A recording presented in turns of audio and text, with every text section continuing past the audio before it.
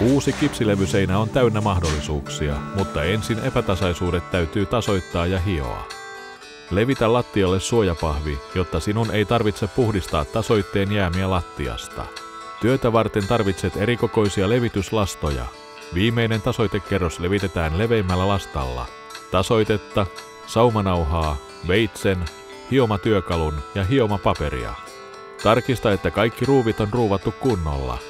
Joskus ne ovat hieman vinossa ja kanta on esillä. Tarkista myös, että kipsilevyt ovat kunnolla kiinni seinässä. Ruuvaa tarvittaessa läpimenneen ruuvin viereen uusi ruuvi. Jos kipsilevyjen liitoskohdissa on notkelma, tasoita sekin. Jos kipsilevy on leikattu, on levyn reuna suora. Leikkaa levyn suoraan reunaan pieni viiste kartonkijäysteen poistamiseksi ja tasoita kohta. Levitä ensimmäinen kerros tasoitetta. Levitä tasoite saumaussyvennyksen yli ja tasoita se sauman suuntaisesti.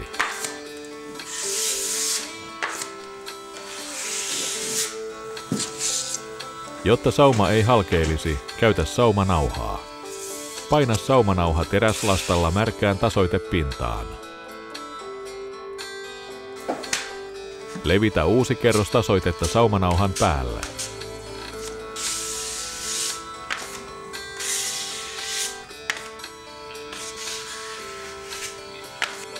Levitä tasoitetta myös ruuvien päälle. Anna tasoitteen kuivua, mutta huolehdi siitä, ettet itse kuivu. Hio pinta tasaiseksi ja poista hiontapöly kunnolla, muuten seuraava tasoitekerros ei kiinnity.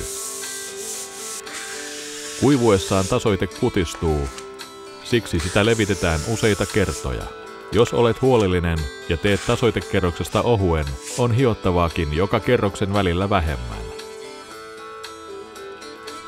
Kun olet levittänyt viimeisen tasoitekerroksen, hio koko saumakohta kunnolla. Jatkovarteen kiinnitetty hiomatyökalu helpottaa työskentelyä.